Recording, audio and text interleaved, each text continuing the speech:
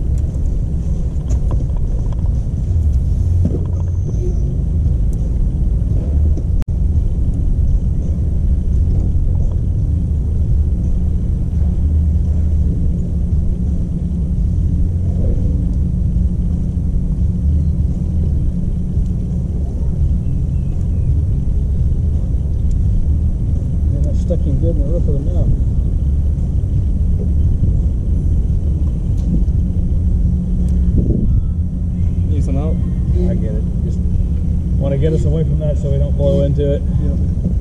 Thank you, though.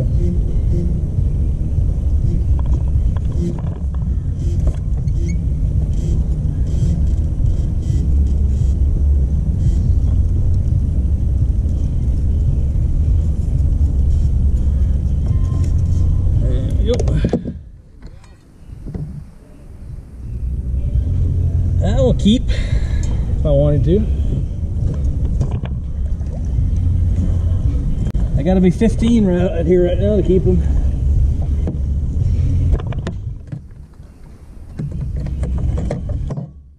O'clock. I was out there all night. I get home, she's getting ready for work. All right, I just like, got a little bump right there too. He didn't take it, but he just bumped it and left it. That could have been a broom. She's like, did you catch anything? I'm like, well, there's a reason I was out there for 10 hours straight. I had a cooler full of bluefish trying to get the rockfish, but then I ran into the air, the issue of can't possess rockfish after midnight. And I was like, so I was what? catching them. Yeah, it's like midnight to six o'clock in the morning. And I was like, I was catching them left and right.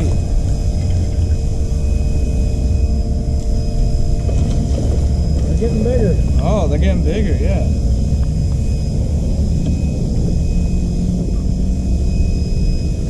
Yeah, I'm right on. I was gonna say that right, there may be another one in there.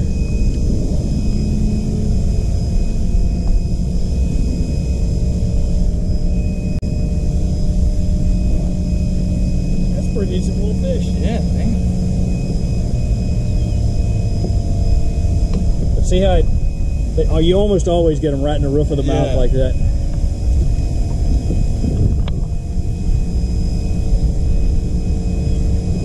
To love fishing treble hooks because I'm like, I can always get them if they bite it. But then I was always getting my fingers too. And I was like, all right, I'm tired of this.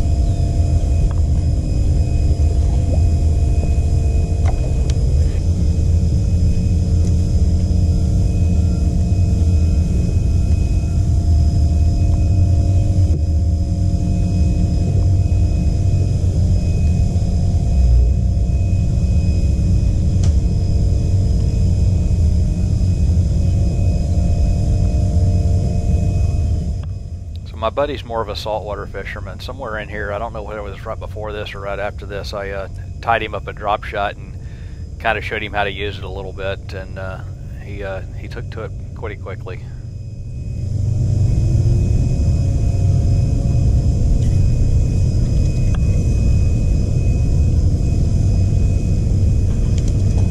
Oh, good, you got one. We got a double. Got a double, yup. Oh, that's good. Yeah, you're right. It's a really light. Yeah, it's very subtle. Yeah.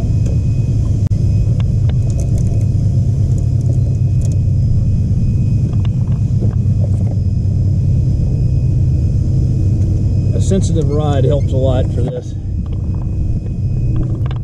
Here, hold on to that before you throw it back.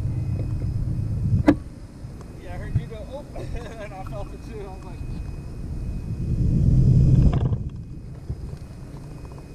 alright, we got the skunks off the boat.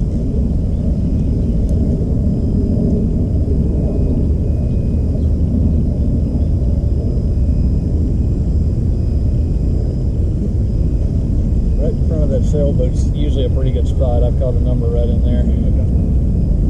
Where that blue rope is tied up. I didn't keep the video on this, but when we came back around to that spot, I uh, I got a bite off exactly that uh, that post. Unfortunately, when I set the hook, it snapped my line. I hadn't retied in a while, so that's my fault. But uh, that could have been a decent fish. Of course, they all felt pretty good that day.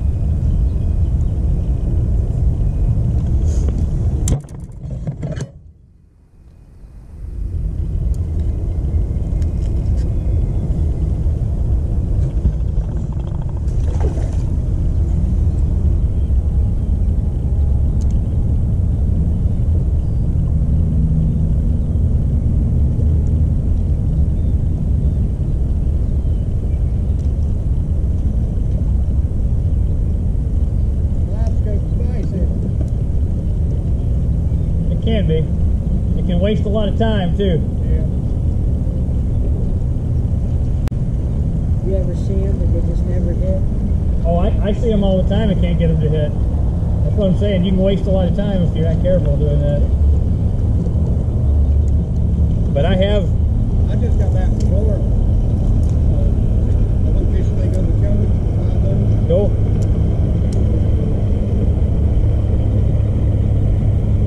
I have watched them swim over and hit my bait too, so it can be useful.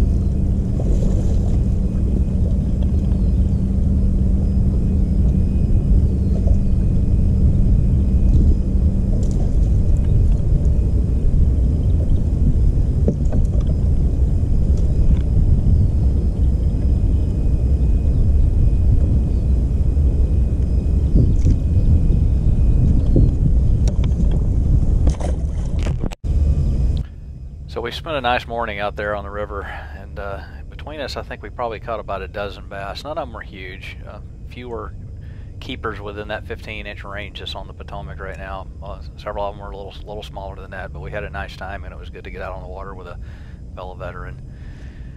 Thanks for watching. Please like and subscribe.